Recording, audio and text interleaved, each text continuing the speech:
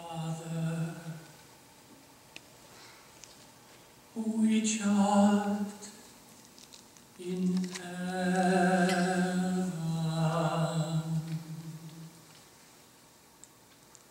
hallowed be thy name.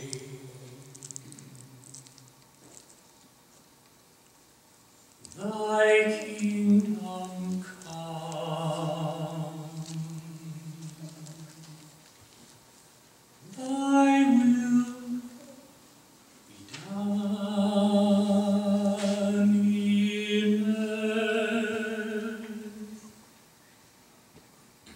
it is in heaven.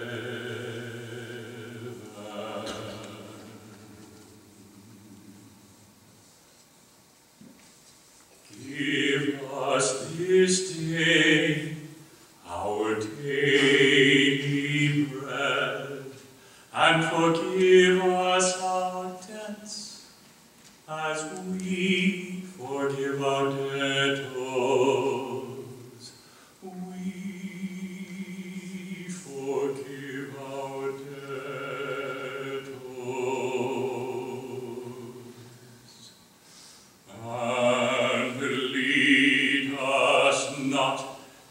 Temptation, but deliver